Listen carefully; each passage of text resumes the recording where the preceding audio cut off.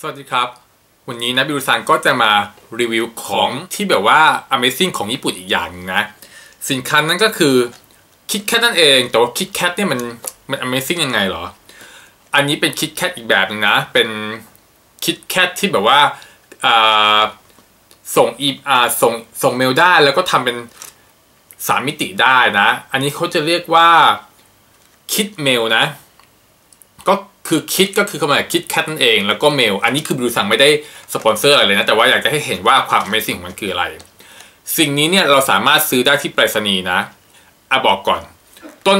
ความคิดของอันนี้นะก็คือว่าเขาจะขายกับช่วงที่แบบว่ากำลังมีการสอบ entrance ของเด็กญี่ปุ่นสำหรับพวกที่จะสอบจากาเด็กมปลายกำลังจะเข้ามหาวิทยาลัยใช่ไหมทุกคนก็จะแบบว่าตั้งหน้าตั้งตาเรียนกันมากเลยใช่ป่ะจะแบบอ่านหนังสือกันดึกอะไรเงี้ยแล้วทีเนี้ยคนที่อยู่รอบข้างอย่างเช่น พ่อแม่ พี่น้องปู่ย่าตายาหรือเพื่อนอะไรเงี้ยแบบว่าอยากจะให้กำลังใจใช่ไหมก็อะโอเคงก็ซื้อคิดแคทให้ เป็นกำลังใจในการแบบว่าอ่านหนังสือกลางคืนแล้วเราก็บอกว่ามีคิดแคทดูเป็นต่างหน้าทำไมต้องคิดแคทน่ะหรอ เพราะว่าคำว่าคิดแคทภาษาญี่ปุ่นเขาจะออกเสียงว่าคิดโตคัตสึคำว่าคิดโตคัตสึแปลว่า surely win คำว่าคิดโตก็คือ surely ก็คือแน่แน่ คัตสึแปลว่าชนะหรือชัยชนะ เพราะฉะนั้นก็คือถ้าเกิดเราส่งคิดโตคัตสึให้แล้วเนี่ยเราจะทำเราจะ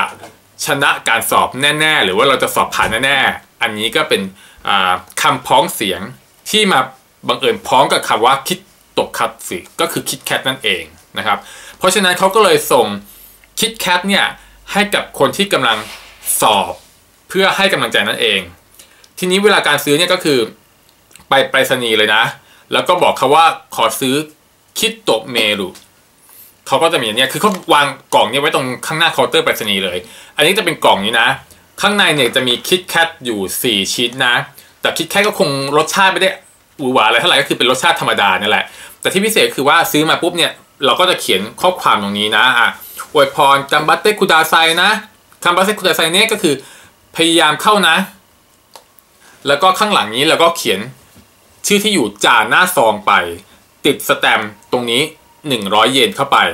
แล้วก็เอากล่องนี้ทั้งกล่องเลยหยอดใส่ตู้ไปรษณีย์คือหยอดเป็นกล่องนี้ลงไปเลยนะ ไม่ต้องไปคู่มะเร็งแล้วนะ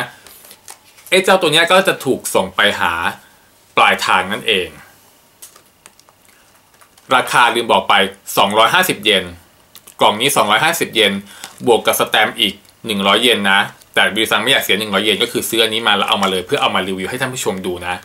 อะเดี๋ยวเรามาเริ่มแกะกัน อันเนี้ยเขาบอกว่าเวลาใช้เนี่ยก็คือเราสามารถจะเห็นพวกนักร้องคนนี้มีนักร้องแบบมาร้องเพลงให้กำลังใจนะ อยู่บนมือถือได้ เป็นโฮโลแกรมอะนึกออกแล้วคำว่าสามมิติก็คือโฮโลแกรมอะเรามาเริ่มแกะกันเลยเรามาแกะคิดตัวคัตสึสิพอแกะมาปุ๊บมันก็จะมีก็จะเป็นคิดแคทก็คือเป็นช็อกโกแลตธรรมดานั่นแหละอันนี้ อันนี้คือไม่รีวิวแล้วกันนะ มีอยู่อ่า สี่ชิ้นอะเป็นกล่องนี้มีอยู่มีอยู่สี่ชิ้นใช่ไหมอ่าสี่ชิ้นเดี๋ยวไปกินทีหลังได้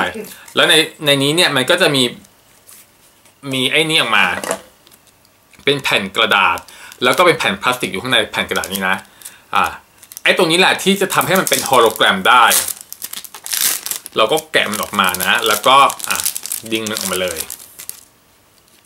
วิธีการประกอบอันนี้คือเป็น เป็น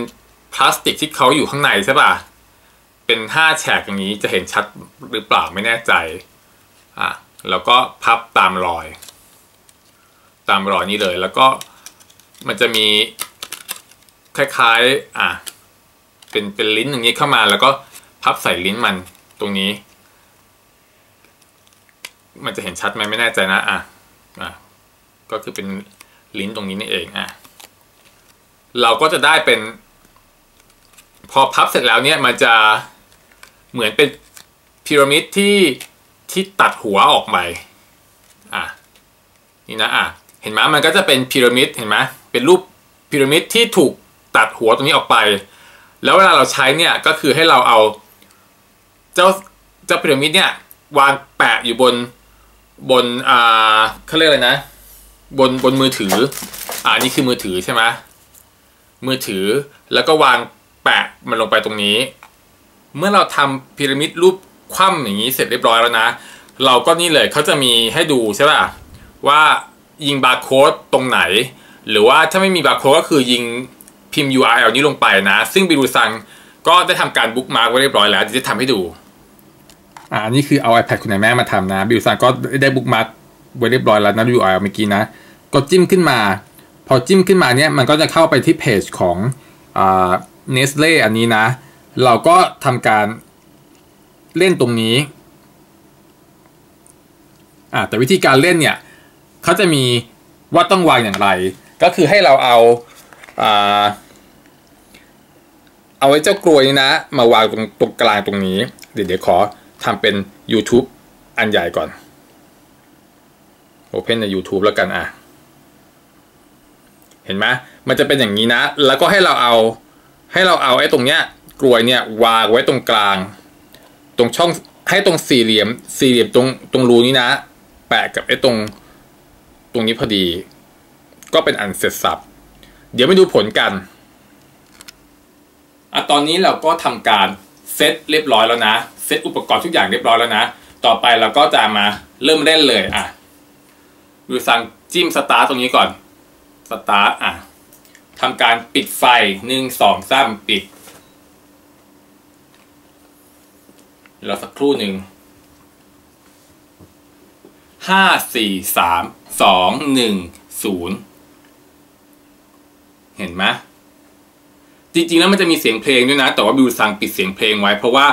ไม่งั้นพอเสียงเพลงเข้า YouTube ปุ๊บมันจะหาว่าบิวซังละเมิดลิขสิทธิ์ทันที นี่เห็นไหมอันนี้คือมันกำลังเล่นอยู่บน iPad อันนี้กล้องกล้องมาสูงไปนิดนึงนะอะขยับขึ้นมาเห็นไหมเราก็จะเห็นเป็นแบบว่าสามมิติบนนี้เลย เยี่ยมจริง ๆ อันนี้อันนี้ก็คือเป็นแผ่น เป็นมันมันสะท้อนเหมือนสะท้อนอยู่ในไอ้อ่าพีระมิดตรงเนี้ย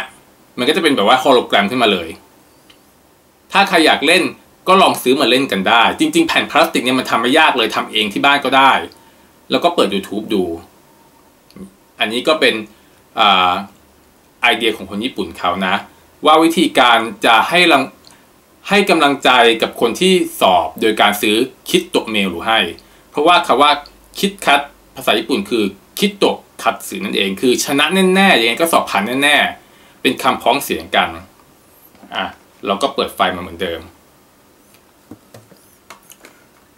อ่าวันนี้ก็ได้ทำการรีวิวคิดตกคัดสื่อหรือคิดตัวเมรูให้เรียบร้อยแล้วนะ คราวหน้าบิวซังจะพาไปทำอะไร ไปดูอะไร ติดตามตอนต่อไป